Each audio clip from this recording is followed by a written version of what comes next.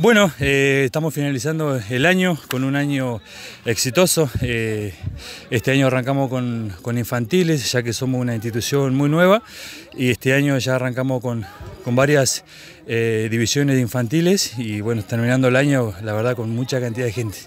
se han sumado mucha gente, mucha familia hoy, ¿no?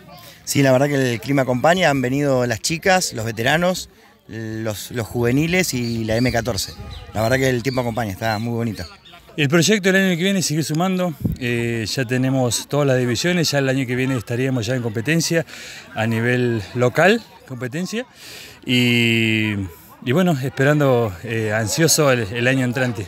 Eh, ¿Usarán esta cancha para jugar el torneo? Seguro, seguro, seguro, sí, ya la venimos preparando para que el día de mañana hay que recibir gente, hay mucha gente que está colaborando para que eso suceda, así que bueno. Lo que ha crecido este último tiempo el club es impresionante, cada vez más gente, cada vez más socios y bueno, están las puertas abiertas a quienes quieran eh, practicar este deporte.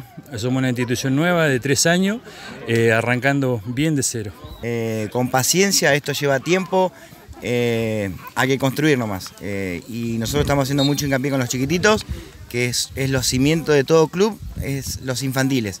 Así que bueno, nos vamos a hacer fuerte ahí, a partir de ahí se vienen años de lindos para lo que es la española.